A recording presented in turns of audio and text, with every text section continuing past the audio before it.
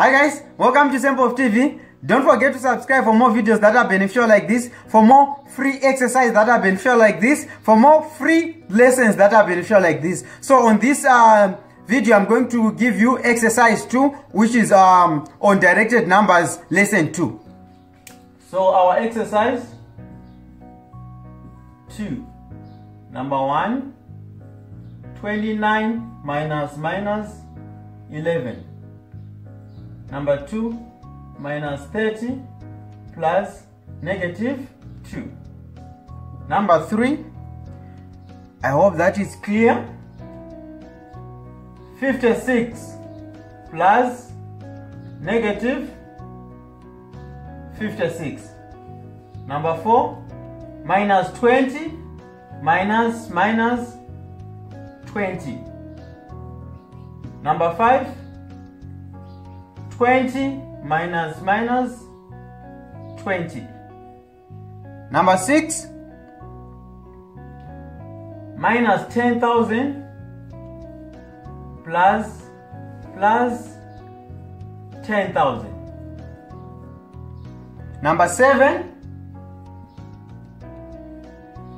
568 minus minus 68.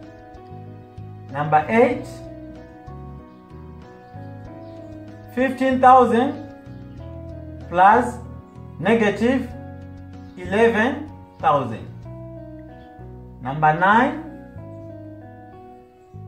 minus 27 minus minus 37.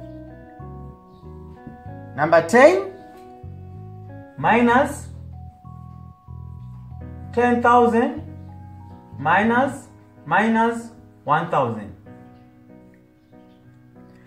I hope that you are going to write this exercise as usual. Those that managed to write, those that write exercise 1, I'm so happy because you all performed well. It shows me that you are now understanding maths better and some of you, you were even commenting that you are understanding it better. I'm happy. That is my wish. That is my prayer for everyone all over the world to understand maths better, to have a distinction in mathematics. I want you to understand this. Mathematics is the easiest subject. Only if you are being given the correct explanation. Because as I told you, number one, there are two kinds of teachers. There is a teacher who knows maths, but unfortunately cannot explain it well, cannot explain it perfectly. Then there's a teacher who knows maths and can explain it in a way that you enjoy the subject. That is the secret.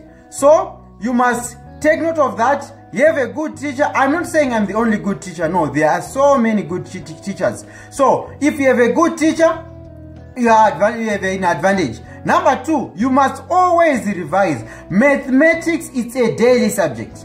If you don't revise, you are not going to pass mathematics. I don't want to lie to you. You have to revise maths each and every day. Then the other thing that you must do, last but not least, subscribe to this channel and watch the videos or the lessons. After the lesson, you write the exercise. I'm telling you, after a few months, you thank me later. You say, oh, I thought algebra is difficult. I thought equations are difficult. I thought directed numbers, uh, it's complicated. It's not complicated. There's nothing that is complicated. So don't forget to share this good news to your friends and family and anyone you know that is struggling with mathematics. If you think that this program that I have started is beneficial to you and it can be beneficial to everyone around the world, please thumbs up. Your like mean, mean a lot to me. And I also want to see your comments on what you think on this program. I hope that you are listening to all the rules and regulations that you are being given during this corona pandemic by government officials and health officials.